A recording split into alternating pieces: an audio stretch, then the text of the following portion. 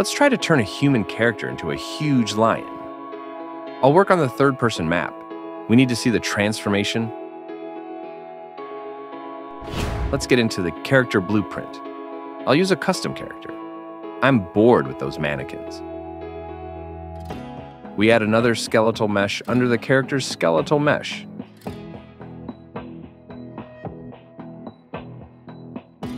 Let's call it Lion.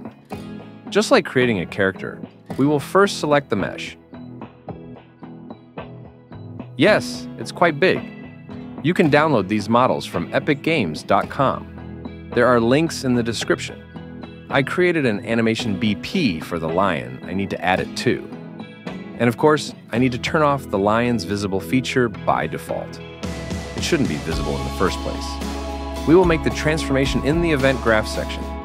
For now, let's assume that we will do the transformation with a button. For example, the left control key.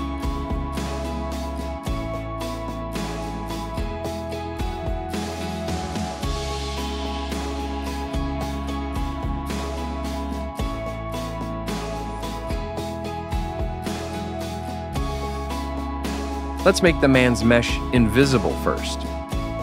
Let's take the mesh and lion. Set visibility of the mesh to false.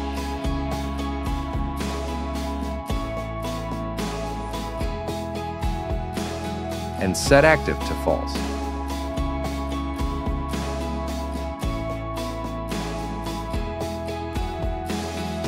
Then for lion, set visibility true and set active true. Now, we have turned the character into a lion, but we need to be able to undo it whenever we want. We'll reverse the process using a flip-flop. So when we press the left control key, A will work. When we press it again, B will work. Look, I forgot to connect this. I copy all the nodes and reverse the process.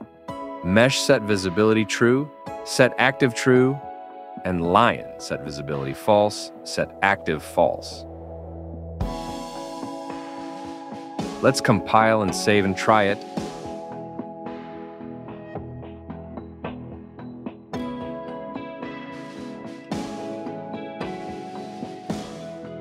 Yes, change is happening, but it's not organic. It's unnatural.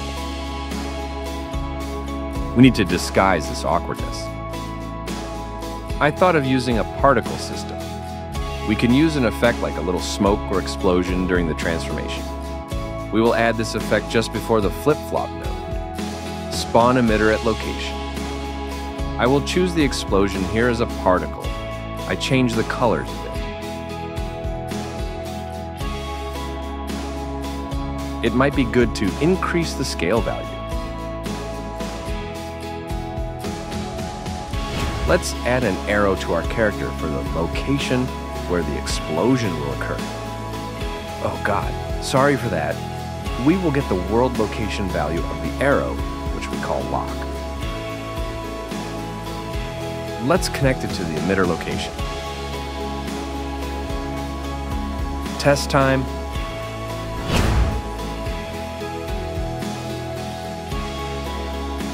Yeah, not bad at all. What do you think? If you're finding value in these videos, hit that subscribe button and drop a like if you love the content and ring the bell to stay updated. See you in the restaurant at the end of the universe.